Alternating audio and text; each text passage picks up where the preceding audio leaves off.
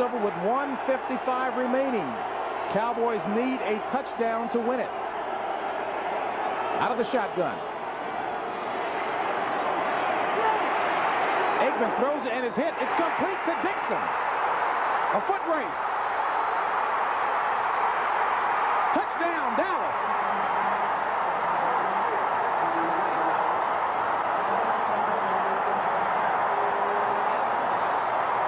And Aikman pays the price,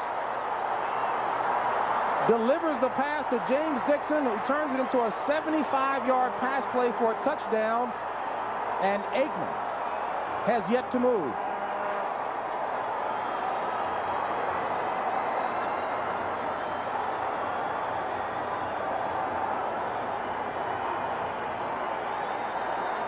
Well, Ken Stabler, that fourth and inches play for Phoenix could turn out to be the biggest one as Jimmy Johnson runs out to check on the franchise.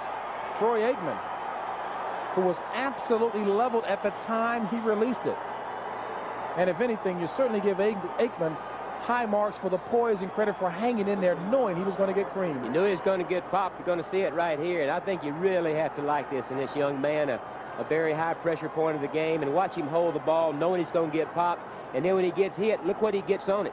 He steps up in there to buy some time, really gets nailed, but watch where the ball ends up. It couldn't be thrown any better. Couldn't be thrown any better. Right out front, he catches the ball on a dead run, and of course Dixon's got great speed, and he's off to the races.